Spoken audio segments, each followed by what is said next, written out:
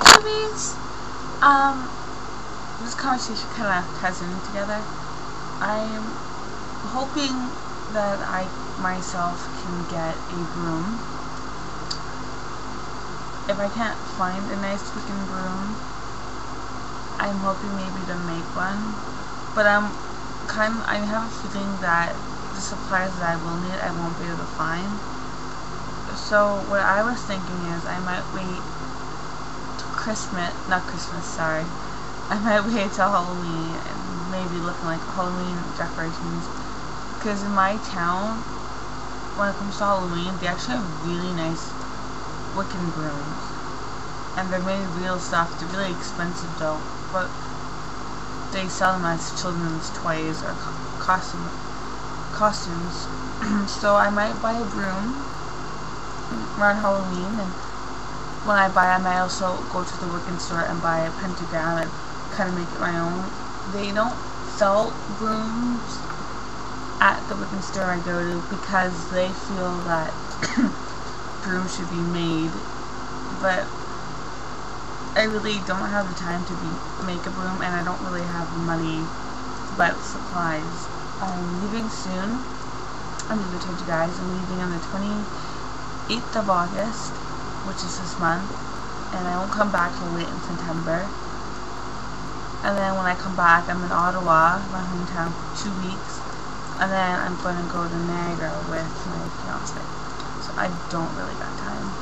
Um, so with the whole broom stuff, brooms are usually should be used um, for cleaning a circle or when you're having a ritual, you know, a, clean out the old and bring in the good positive. So, seeing as I wanted to get a broom, I decided to start cleaning up my room now. As you can see behind me on this side, I got I moved my my bookshelves over there for the time being.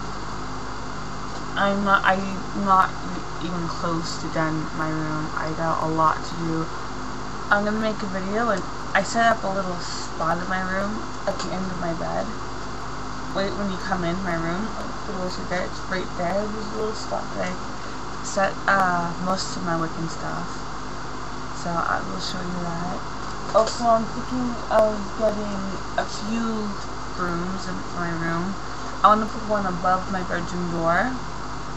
And I also want to put one above my window. And I want to have one for rituals and stuff like that. But I'm worried that with so many brooms it might, uh, how do I explain it? I don't think too many, so many brooms might be a good idea because I'm worried that you know, I might use all of them and I really don't want to have use all of them because then that kind of won't be the best. So I'm gonna, I'm gonna make one and I haven't decided if I want to put it above my bed, like where my window is, or if I want to like above my door. So I'm kind of thinking about that. Uh, what else? There's a lot of stuff on my mind. I was babysitting this morning two, well, three boys. I really was watching over two because the other one, the third one was the oldest. So he didn't really need looking after. So my mind's all blah, mush today because I'm just exhausted. Yesterday, I was cleaning from 8 in the morning till 8 at night. Now that's a lot, like, and I'm not even close to done. I went through boxes, and I have special boxes under my bed. I went through those. I cleaned out four garbage bags, and I still got two in my room that are halfway full. so that would be, uh, six bags so far. I'm not even done yet. I've got in my closet still. My closet is a wreck. Because I got a dresser in my closet. One side of my closet has hanging clothes, and then under the hanging clothes, I got big cover containers of clothes, like my winter clothes. And the thing is, I technically don't grow, so you know, I got lots of clothes. The only thing I grew out of would probably be shirts. This my chest. Other than that, not really. So whatever I don't want anymore, I either give to my sister who I don't live with, my little sister, or I would give it to Goodwill. And sometimes I might actually just recycle my clothes. Like I might like use some of it to make pouches with, or you know like special baggies to make some smelly stuff and oils. You know I just I use a lot of different things and I like doing that. Like this shirt I'm wearing right now, I had for years, and it still fits me, and it still looks new. So, also, I got 42 hits on one of my videos, and that's like the biggest hit I ever got. Like 42, it's a big number. So, you know, I'm trying to, hoping that I will get more hits than just 42 on the video.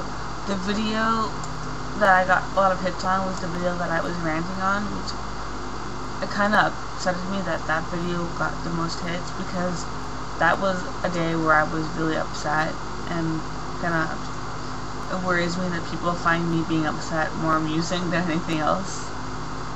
So, but you know, eventually that worked. Uh, my second biggest hit is my win-win day video, which was 30 hit, 30 views, and that's like all I got for like big hits. So. I'm hoping that soon I would get better better people watching my video. I'm also running low on ideas. Like I don't want to keep sitting here and talking about my day and what I did and what I want to do. You know, I also I want to answer questions and I want to help others. I really do. Like I'm not just sitting here by trying to get some what is that YouTube fame or whatever people want to call it. I just want to get my voice across and me getting my voice across, or anybody actually getting the voice across, it means that people who are watching need to put in their effort too. Because without me, there can't be you, basically. So the viewers, you know, give me ideas, ask me questions. I'm like, I love it. I love people asking me questions. It shows that people listen and are very interesting into what I have to say. So I, I know that I keep yawning in my videos. I just, I've been so busy and, I, and my body is really tired. And when I walk in my room, it's just, uh, for me, it's one of, it's one of those relaxing things. Like when you, when I hit my, like when I get in my house, I'm like, oh, I'm home. But once I get in my room, I'm just like, you know, I'm in my, my solitary spot. This is my room. I'm very, actually, my mom's telling me, oh, my room looks clean but to me, I don't think it's clean. Like, I woke up and I was just really angry at myself in my room because it was so messy, and I was like, you know, I gotta clean my room up. I gotta massively clean it. So I cleaned it, and I thought it was really a funny timing because, you know, I'm also talking about getting a broom. And I'm also still trying to make a coven.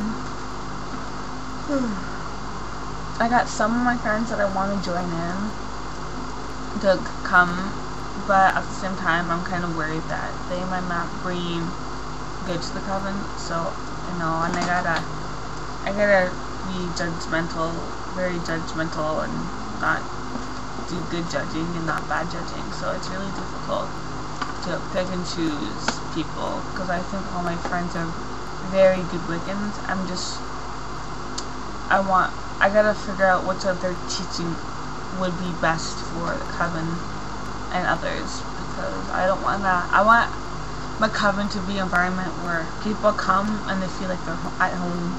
I don't want negativity or anything like that in my coven, so it's gonna be really, it's gonna be difficult for me. Anyways, this is all gonna say for this video. I can't make it any longer than 10 minutes and it's getting close. So, blessed be, and I'll talk to you guys later. Bye.